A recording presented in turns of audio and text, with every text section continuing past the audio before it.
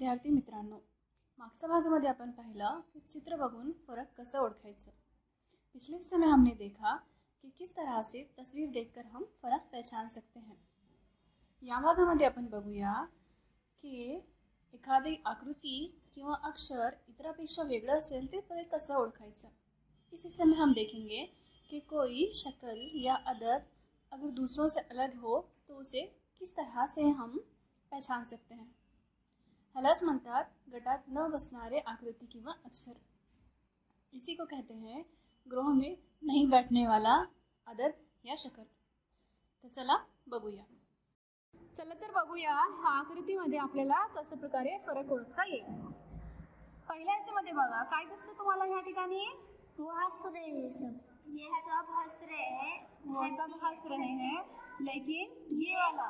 ये और ये सैड है ये सैड है. गुड ये उदास है. ये उदास है. हे सगळे आपल्याला आनंदित दिसतात आणि हे काय आहे? निराश आहे. दुःख म्हणजे हा दुःख दिसते. म्हणजे हे काय आपल्या गटात बसते का? नाही. तर आपण काय करू? ह्याच्यामध्ये अशी खून करू. ठीक आहे? ओके. ओके? ठीक आहे. तर मला सांगा हे जे चार आहेत नाव सांगा अगोदर ह्याचे. त्रिकोण. वर्तुळ पंचकोण पंचकोण ठीक है? तो हमको पता है कि यहाँ पर इसके बाजू है तीन। बाजू है और तीन कोण है। आयत के भी मुस्ततील के भी चार ज़िले और चार जागे है।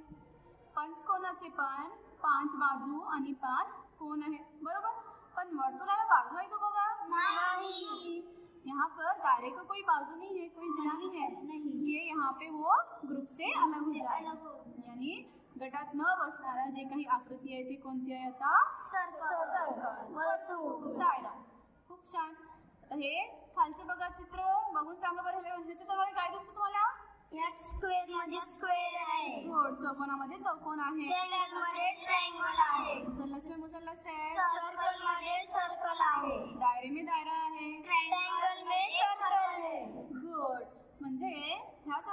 तुम्हाला वेगळा किंवा डिफरंट काय दिसते हे. कारण हे सगळे जे आकृती आहेत ते सारखेच आहेत. म्हणजे यहाँ पर जो भी शक्लें हैं एक तरह की हैं. लेकिन यहाँ पर दो तरह की शक्लें हैं.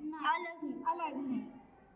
म्हणून हे काय होणार आपलं? गटात न बसणारा आकृती होणार आहे. समजलं?